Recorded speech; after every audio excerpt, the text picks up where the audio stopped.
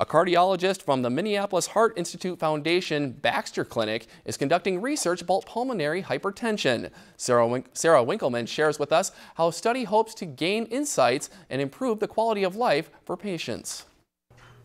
After working at the Minneapolis Heart Institute Foundation in the Baxter Clinic for a few years, Dr. Eric Fenstad has seen nearly 150 patients with pulmonary hypertension. He saw all of these patients at this clinic with pulmonary hypertension, and he's like, What is going on? And so he dug a little deeper, came up with how he could approach that question to get answers. But rarely does he see patients affected the same by the disease. Every patient seems to respond a little differently, and their pulmonary hypertension is treated differently as, as such.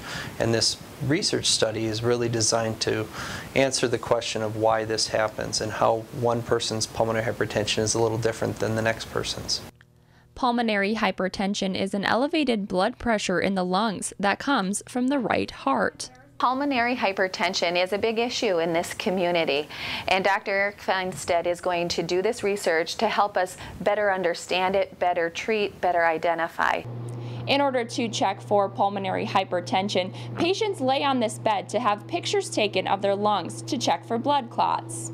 I'm hoping that we can make a medical breakthrough with pulmonary hypertension and, and get to the root cause of this problem and hopefully unlock some of the mystery that uh, is, has uh, evaded us thus far. Very generous donors from the Brainerd area, Arnie and Joanne Johnson, have donated $25,000 to get the research project started. The Minneapolis Heart Institute Foundation is there to see the research through all the way to the results. So the Minneapolis Heart Institute Foundation is a separate nonprofit organization that exists solely to support the research and education of the Minneapolis Heart Institute physicians. By October, Dr. Fenstad will start the collection of blood samples from those with pulmonary hypertension.